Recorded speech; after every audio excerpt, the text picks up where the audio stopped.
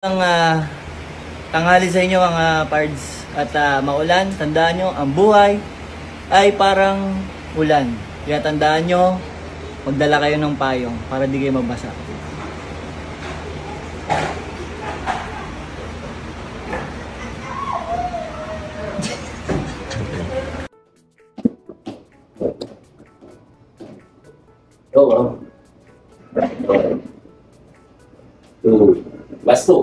the that's one.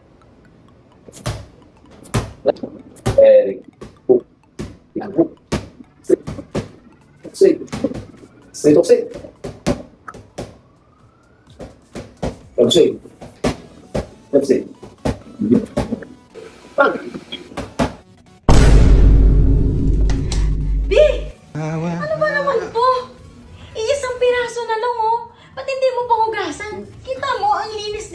Nahugasan ko na lahat. Hindi, kasi, Ba't hindi mo man lang mahugasan to? Isang piraso na nga lang eh. ano kasi, kani, Wala ka bang mata? Wala ka bang kamay? ayun, Di mo na ba ako mahal? syempre, mahal kita. Ano ba naman to? Ano ba naman buhay to? Ako na lang palagi. Uy, saan pupunta? If the world was changing Be! May isang ano dito. Kutsara. Ginamit mo?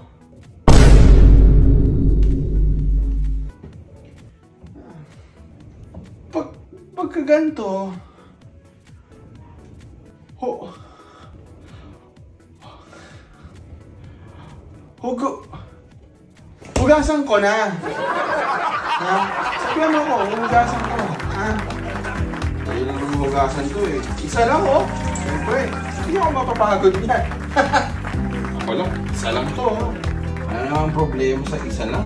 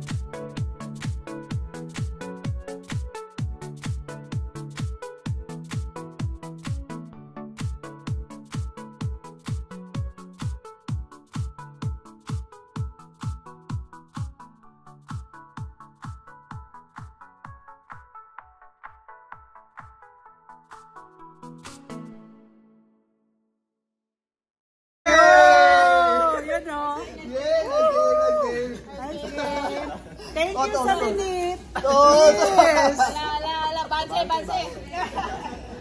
Saya, thank you so much.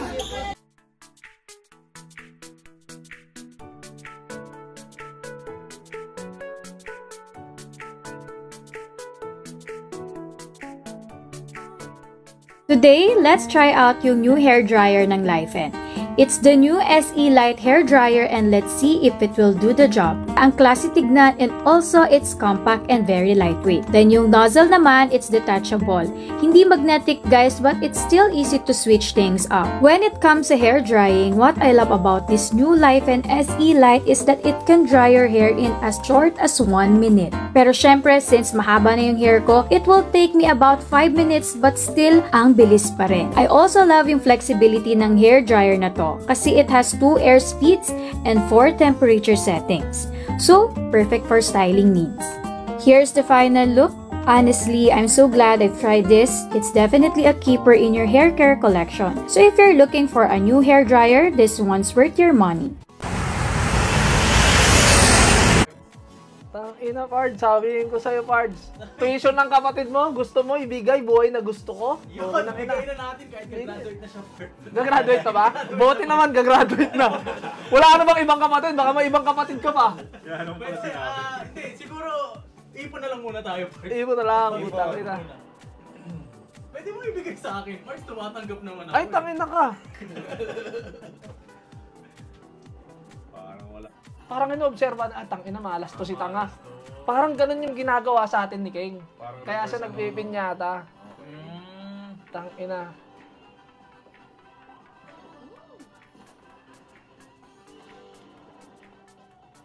bigyan mo lang kami. Baba mo pa. Nababasa ko na to si Boss King. Kasi ako, ang technique ko, eh, inaantay ko si Boss King na, tangina, talo siya. Baka swerte ako.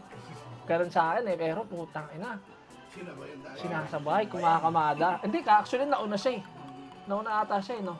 Hindi, parang mas nauna ka ata ng ilang segundo.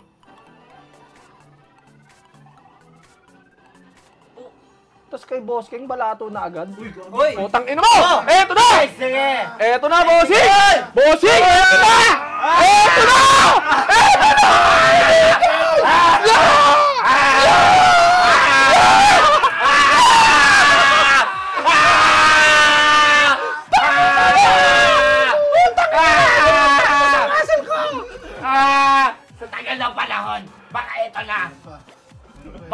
Banatan ng banatan. Putang ina, biglang naging 200k yung pera ko!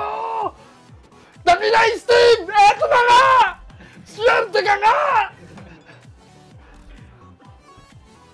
Taas yung tubig ko.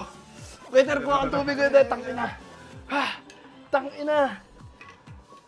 Okay. Sa wakas, nagbigay ka din, Pins. Sabi sa'yo eh. Pins! Pinsan kita eh.